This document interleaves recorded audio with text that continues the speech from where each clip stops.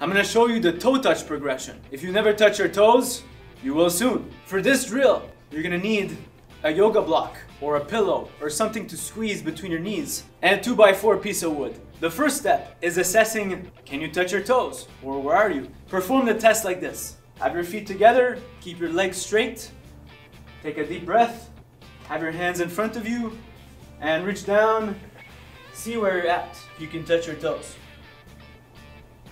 and then come up. If you can't touch your toes, don't worry, you're still a good person. If you can touch your toes, you're still gonna go deeper and get results. Place the 2x4 in front of you so you can step on it with the toes and the front of the foot elevated. Take the yoga block and put it between your knees. This is the start position. You're gonna initiate the movement with a breath and perform 10 reps.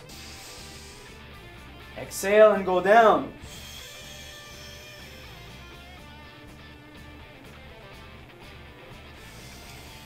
Repeat the movement. When you reach a certain point, squeeze the yoga block hard between your knees.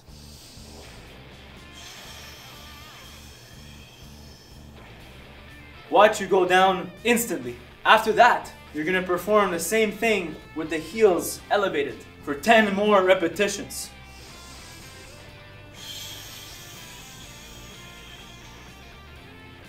Watch you get better at the toe touch. Retest it afterwards.